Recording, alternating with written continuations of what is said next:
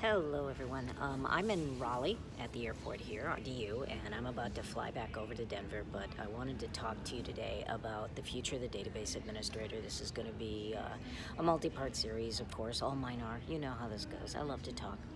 But uh, one of the challenges that we're hearing is about where the future of the DBA is going and what their careers are going to be. And as you hear about autonomous database and there's going to be no more DBAs, well, there's not going to be any more boring tasks, hopefully, but there's going to be a lot of interesting work for database administrators in the future.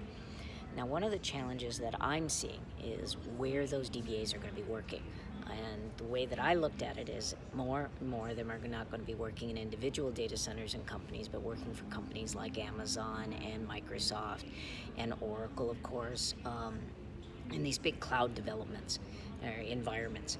And as this occurs, of course, you're going to see a huge change in where those data centers reside.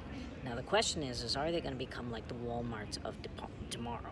Um, now, if we look at it that way, it's it's kind of interesting the way that the perspective is of business, and it's going to be very different for the EU versus you know and UK versus America. Um, when I was looking at data on this, it, it, was kind of intriguing because, you know, the EU has 86% um, self-employed versus the U.S. that only has about 10 to 15%. There's a huge difference there when I'm looking at the numbers, and these were like just quick numbers that I was looking at online. So nobody freak out if I'm a percent off. Okay, just understand the disparity. That's what I want you to focus on. Um, for you detail-oriented people, I know how you are.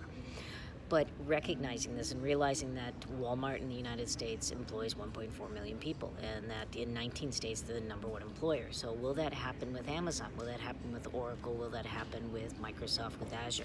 Is that where most of our majority of database administrators going to futurely be employed even if they don't have the title of DBA as those boring tasks change? So I want you to start thinking about that as this conversation continues and know that, you know, when we go to collaborate, coming up here in April, we're going to have a capstone session where we talk about the future of the DBA.